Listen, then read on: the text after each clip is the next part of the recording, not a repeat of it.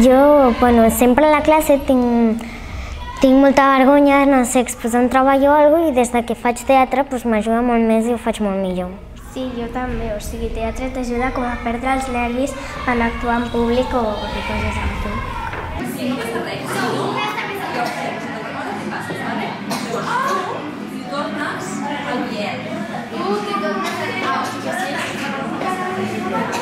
El que fas és parlar amb ells i és igual que els expliquis. Eh, L'únic que estàs intentant és que ells concentrin la seva atenció en el que han de fer i que situïn i diguin ah, ostres, ara començarem a fer una obra de teatre. Perquè si no, eh, si no fas aquest exercici de concentració, de que t'escoltin, de parlar de qualsevol cosa i de, de qualsevol cosa respecte a l'obra de teatre, eh, però has de parlar d'alguna cosa. Llavors ells eh, poden arribar com amb l'energia del carrer i situar-se dintre de l'escenari i sentir-se perduts. No? I llavors el que fas és, diguéssim, que eh, guanyin consciència del que estan a punt de fer. atentes, concentrades, actives, nervioses, que eh, el primer dia. Vale? Ara fem un passe a tota velocitat. Vinga, a tota velocitat. Sort que no te paraigües. ¡Pam! ¡Ay, ay, ay, ay!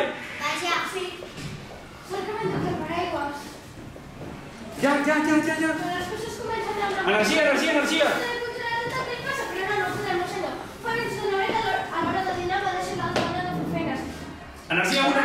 a una, una, una, una, una, una, una, una, una, una, una, una, una, una, una, una, una, una,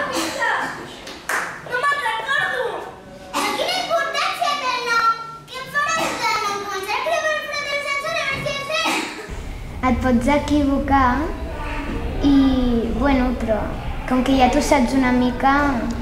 Depèn, si és la primera actuació tens bastants nervis, però... I jo crec que al principi creus que tot et sortirà molt malament i que no t'ho sabràs i que la cagaràs molt, però al final et surt bé. Ja, o sigui que no t'has de confiar. Callo, no molesto les altres persones que dan cada al cas a mi. Una mica de respecte per altres. Si donen cada al cas que m'estona millor que tinguem una relació cordial, em sembla. Fins a partir d'aquí. Del seient, d'aquí cap enrere. Una mica més enrere, a partir d'aquí, perfecte.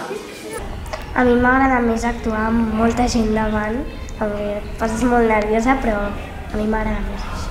Mm, A mi m'agrada més actuar amb poques persones perquè, no sé, així dius més text i això. És, veurem la primera escena d'una obra de teatre que es diu Mala Sang.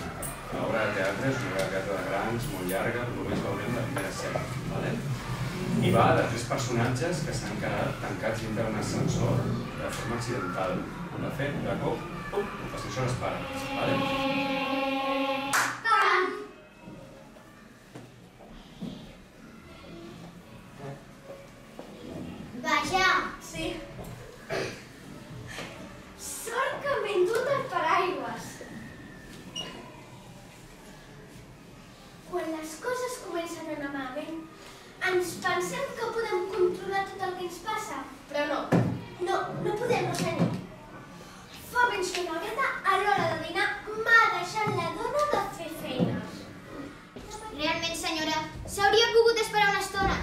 Estic convençuda que el senyor Fernández no tardarà molt en descobrir-nos. Tingui en compte que jo em faig pagues per arribar d'hora a la universitat. Els nens no són tan innocents com vostès pensa.